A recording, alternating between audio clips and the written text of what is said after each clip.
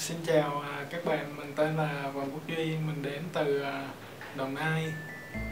À, mình chọn Canada du học vì bên đó à, đất nước đẹp có nền giáo dục phát triển.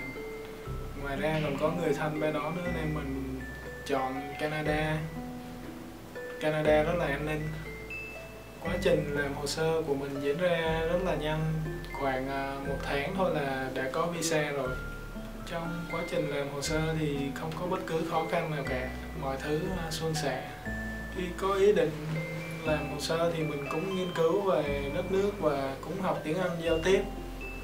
À, được à, 6 tháng mình cũng đăng ký trường à, giao job lao bên Canada ngành à, quản trị mạng.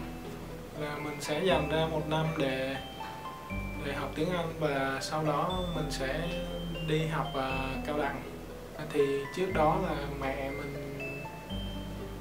làm hồ sơ cho em là qua công ty Tâm Dạng Đại Dương.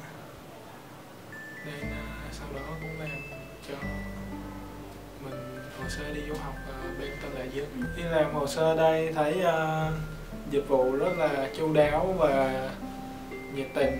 Lúc uh, các bạn uh, sớm à, được à, visa và mọi thứ diễn ra tốt đẹp.